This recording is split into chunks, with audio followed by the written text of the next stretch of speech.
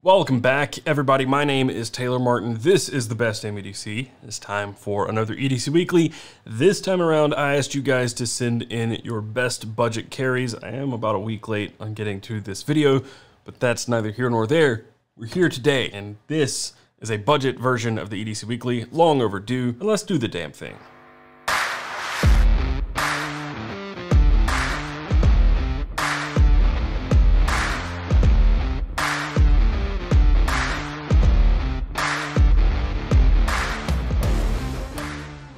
For those of you who are gonna ask what's in the glass today, it's something a little different. Chattanooga whiskey, 111 proof. Stuff's got some heat to it, and it is really good. This was sent to me by my buddies Chad and Joe over at Big Idea Design.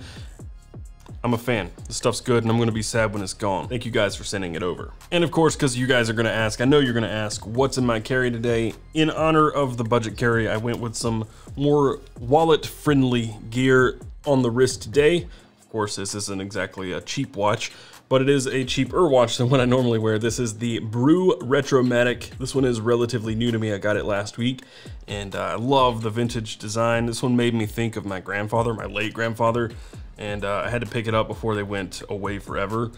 And uh, I'm glad I did. I'm glad I did. It, it wears really well. I like the look of it. It's got a nice little uh, retro appeal. Also in the pocket today is a new to me wallet. I've had many. It's really hard for me to not say Das Afenimere, but he is now known as Open Sea Leather, and this one is a veg tan version of a topsider. This thing is really sick, and I can't wait to see the kind of patina that I put on this over the next couple of months. The knife in my pocket today is one of my favorite budget knives, about 65 bucks. This is the Civivi Nox it has ousted the Elementum as my favorite Civivi. I will talk more in depth about this knife in a video coming this weekend. That's right, there's gonna be a weekend video. The pin in my pocket is a new release, currently unreleased, I guess. Not exactly the most budget-friendly pen, but it's in my pocket for a number of reasons. This is the new Scribe Go from Urban Survival Gear. So this is like the follow-up to the V2. Very, very nice, very sleek, huge improvement over the past pens. And finally in my pocket is a flashlight. This is the Reylight Pineapple Mini in titanium. Really cool little AAA flashlight. So that is what I'm carrying and wearing this week. And as I introduced in the last EDC Weekly, we now have a new segment up top. You guys seem to really like that. I've been asking you to send me cool and interesting things that are happening within the community, drops and other news. Maybe somebody's done something really cool. There's a new company whatever it may be. Uh, I'm gonna come up with a better way for you guys to send that information to me on the regular so that I can have this news segment every single time we do the EDC Weekly. I think it's a really great addition. But the first bit of news actually comes from today's sponsor for the video, Tactile Turn. As you guys probably know by now, Tactile Turn machines pins right here in the US and makes really, really high quality pins out of materials like bronze, copper, titanium, and zirconium. While they're known for bolt action pins, Tactile Turn also makes a side click pin, and right now they have a limited release out for summer called the Nautilus. The Nautilus features Northern Lights colored changing metallic blue Cerakote body, gold Cerakote clip and accents, and an anchor engraving on the clip. And the Nautilus will be available to order from now until September 8th, and after that, they're gone for good. So to check out the Nautilus and everything else that Tactile Turn has going on, hit the link in the description down below. And if you purchase anything using that link, you will help support the show. And once again, thank you Tactile Turn for sponsoring this video. Next up, we have some news from BMKT, my buddy Brendan, who makes some really, really cool fixed blades. This right here is a custom from Brendan. I did a video on his knives a while back. However, he is doing a production release of the EDC1, which is this knife and it is called the Field Spec Series. They are available for pre-order right now. They're gonna be shipping later this year, probably December-ish. They're gonna be manufactured by Bestech and they come in M390 blade steel and there are five different blade options to choose from. There's a Bowie, just like this one. There's also a drop point, a sheep's foot, a Wharncliffe, and a Tanto. And they come in three different handle colors, an OD, a natural, or a black micarta. They're $170 for the pre-order right now. That price will jump up to 190 later. And again, they're gonna ship around December. So if you wanna check that out, there is a link in the description. A little bit of personal news. I have a drop going on over at Carry Commission today, and I hope by the time this video comes out, there's still some available on the site. I really tried this time. I really did. So if they're gone, I'm sorry, and I'll bring them back, I promise. But today I am dropping the Topo Tough Clip. This is a collaboration between myself and and JRW gear. Uh, we've been talking about doing this for a while, and then Rick surprised me with a two-tone version. I had a prototype of this for a long time, and then Rick's like, look what I did, and he made this even cooler than the original, so I'm really happy to be bringing these out. They should be available over on Carry Commission right now, if they're not sold out. If they are, sorry, I'll try harder next time. also, a little side note, I'm restocking blades.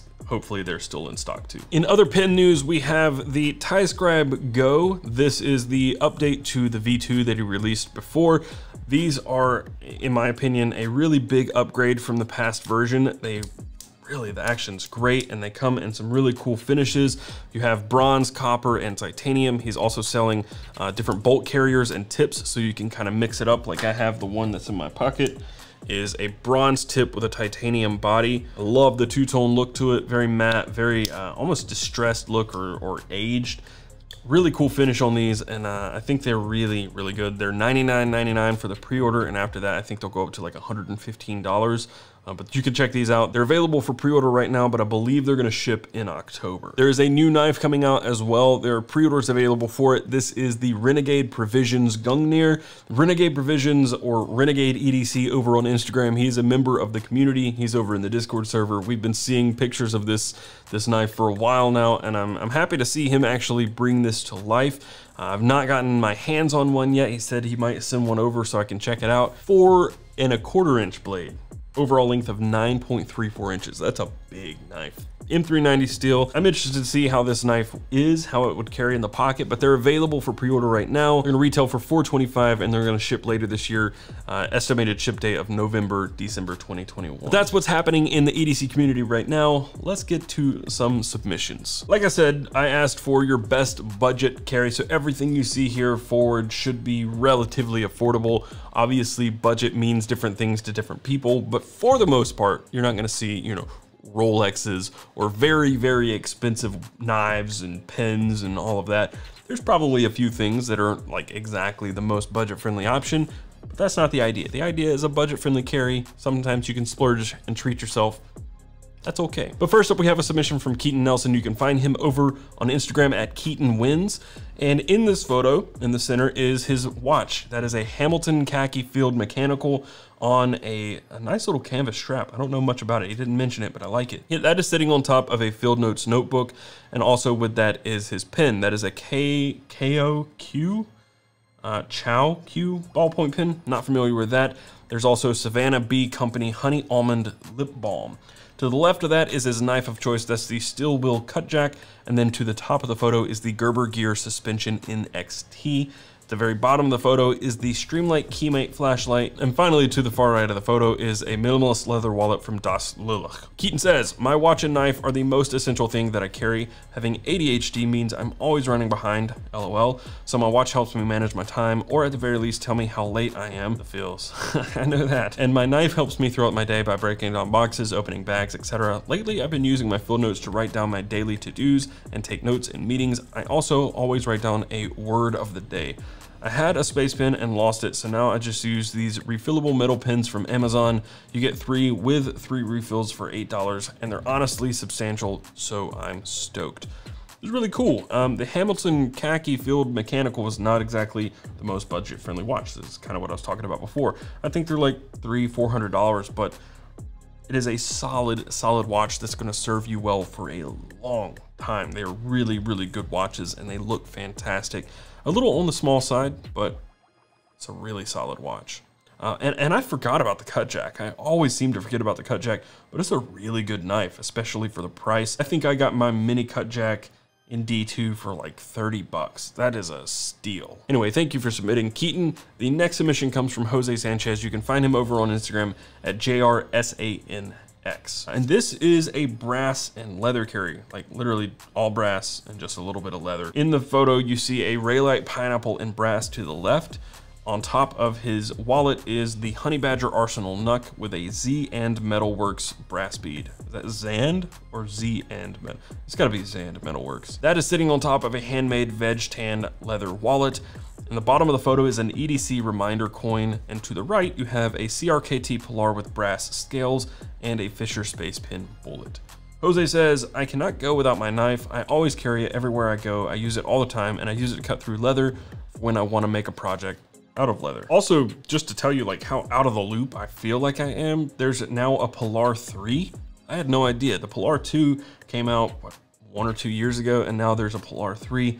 Had no idea. I'm just so much stuff is happening all the time. I can't keep up with everything anymore. Um, but the brass scales, those I imagine are Flytanium scales. I don't really know. And I've not seen this Honey Badger Knuck either. Knucks are like becoming a very big thing apparently. Anyway, this is really cool. I love the all brass theme with a little bit of leather.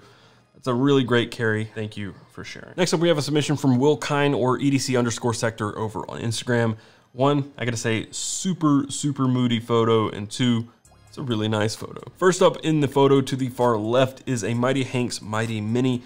Next to that is an Olight i5T EOS, and then in the center of the photo is a CRKT Tuna. The wallet that you see underneath the pin and the other little doodad is an open sea leather topsider. On top of that is a Northeast Odysseys pocket trinket, and then finally we have a big Idea Design mini pin.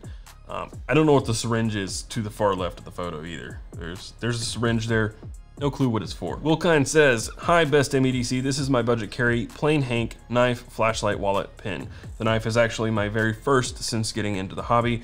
Working night shift at the hospital, pretty much this covers my base. The pocket trinket is most helpful to distress when I get toxic at work. Well, no need to get toxic. Uh, also, more power to you. Couldn't work night shift at a hospital. Couldn't pay me to do it. Couldn't. No way. Not a chance. Um, so more power to you. Thank you for what you do.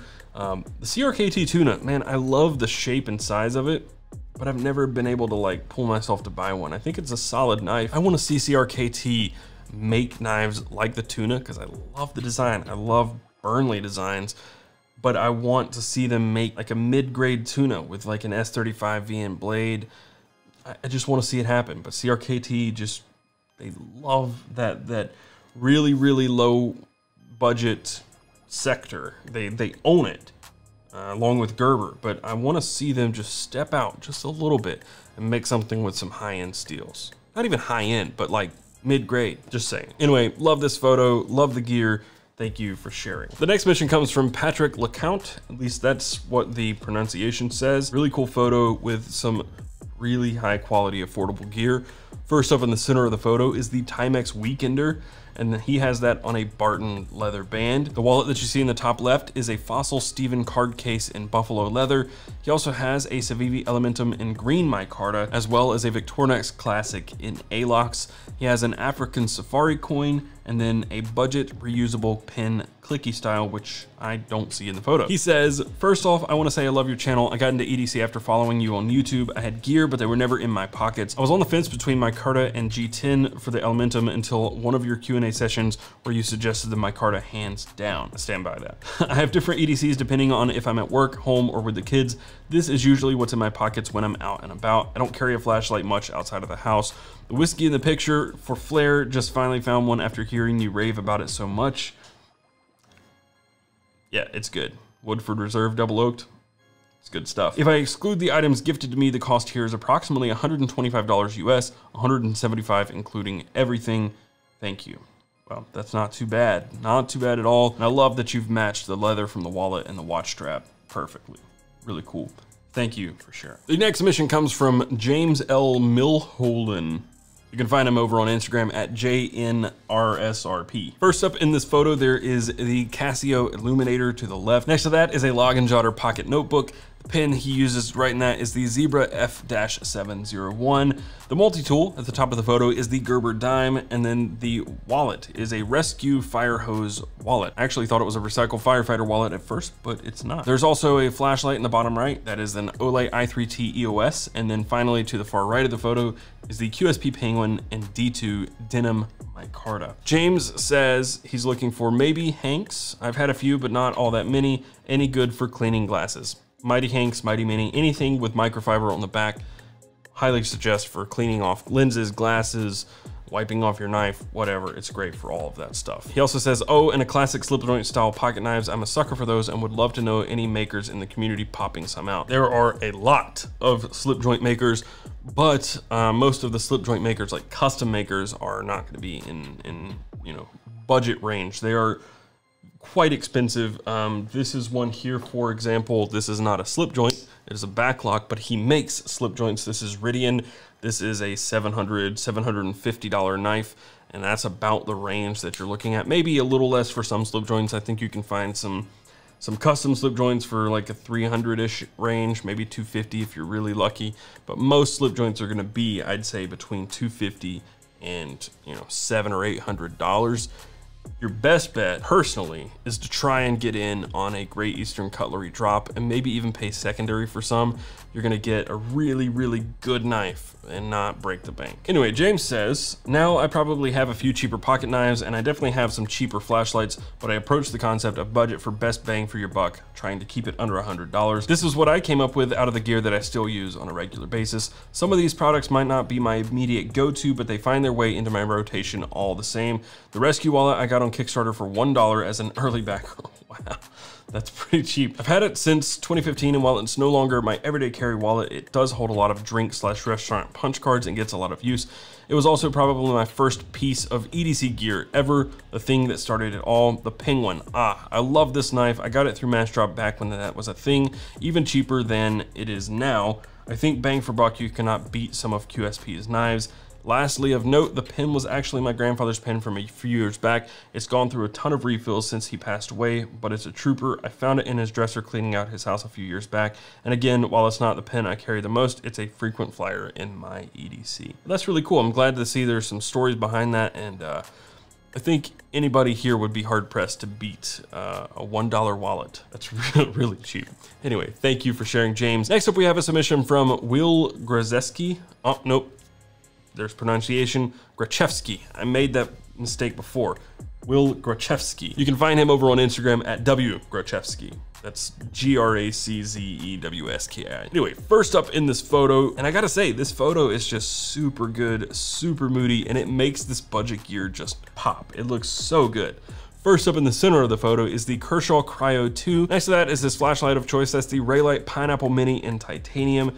Underneath that is a handmade wallet out of leather, and that is all sitting inside a Craft and Lore Valet tray. To the right of that is a Pete's Pirate Life key clip as well as a Gerber Shard and Olight i1R2 EOS. And then to the left of the photo is an iPhone XR with a Nomad case, Apple AirPods Pro, and those are also in a Nomad AirPods case. Will says, I've still yet to figure out the key situation. When I wear jeans, the key clip works fine, but any other time I find it to be a bit bulky. I looked at key bars and similar products, but I only really need my house key and my car key, so I think a key bar could be a bit overkill. Not sure if anyone is in a similar position, but I am open to suggestions. Yeah, glad you said it.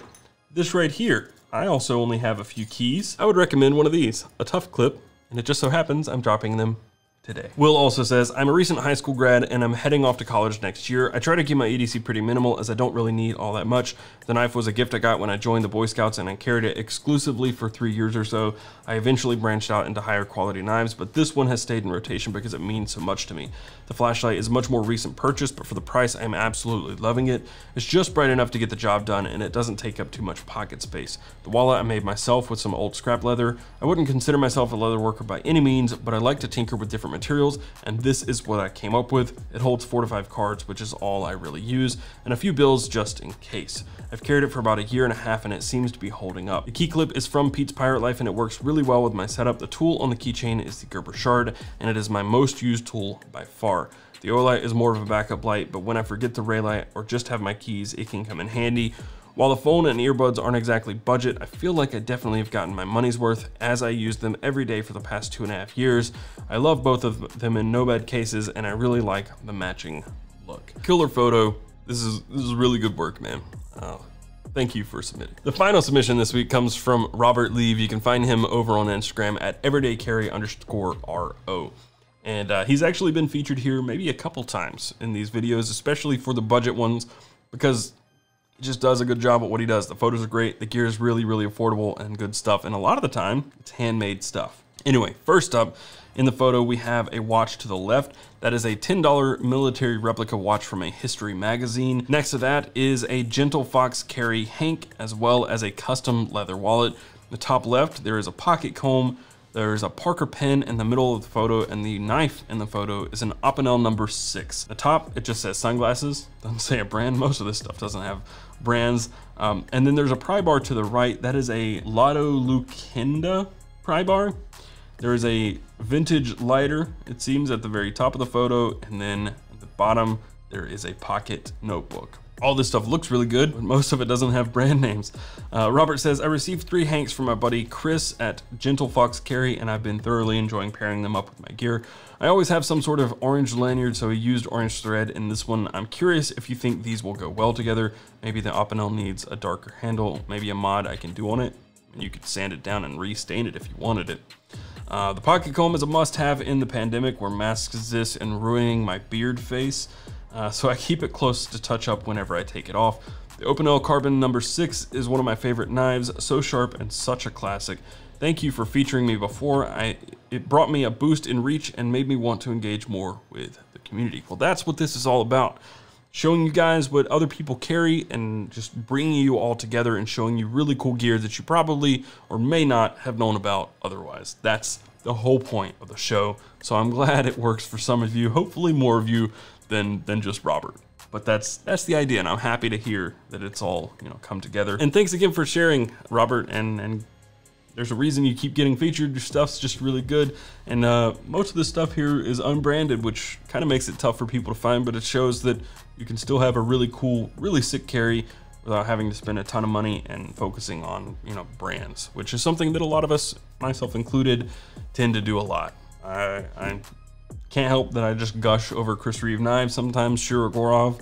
Those are two very expensive brands, but it just happens. And sometimes all you need is a Kershaw or even an Opinel knife in your pocket. It's really all you have to have anyway. You don't even have to have that.